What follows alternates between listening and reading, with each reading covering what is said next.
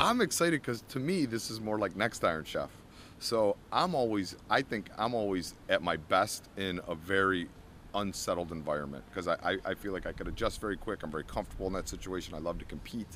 Um, so I, I feel it's advantageous to me to be kind of uh, out of the home kitchen a little bit because um, I've, I've worked in this environment, I think, more than the other Iron Chefs have. Here we are at Morimoto's home turf, so I mean, I think he has an advantage right off the giddy up, but uh, you know, I like that there's a little bit of um, uneasiness and what's going to happen next kind of feel, where you don't get that, so, you know, I've done 30 battles in Kitchen Stadium now, so you're pretty familiar with your surroundings. I'm extremely competitive. Uh, I was an athlete. and I, am competitive as they come. Um, yeah, I mean, I'm. Uh, I have the best winning percentage of all the Iron Chefs. Not that we should bring that up or anything, but it's just a fact. I'm. I'm uh, I think I'm 26, three and one. I never really remember the wins. I just remember the losses. Um, it's just kind of how I'm wired, I guess.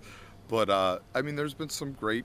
Bad, you know, it's the funny thing is, is my mother is Greek, and most of the, my losses have been on Greek ingredients, which really upsets her very much. And I think it's because they're so comfortable for me that I end up doing more like super rustic home food than I grew up on, as opposed to Iron Chef style food. You know, like when I see octopus, I don't think Iron Chef. I think of being out on the grill with my my yaya and my mom and serving it with some olive oil and red wine vinegar and potatoes, which is delicious, but isn't what they're looking for in Iron Chef.